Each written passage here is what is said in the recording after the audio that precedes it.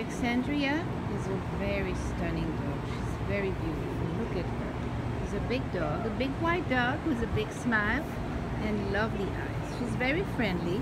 She was very, very, very shy when she came in, but she came out of her shell and she's all ready to be yours, coming out of her kennel, right? Ready for her walk, ready to be your friend, ready to come on your lap and kisses galore. Yes, she is a big kisser. Can you sit? Can you sit? Sit down. Sit. Show your sit. No, no, no back off. Sit. Sit down. Sit. Good girl. You can sit. That's a wonderful girl.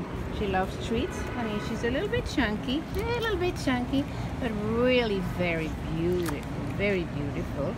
Of course, she will like to have a lot of walks, will lose a little bit of weight, and uh, a lot of exercise.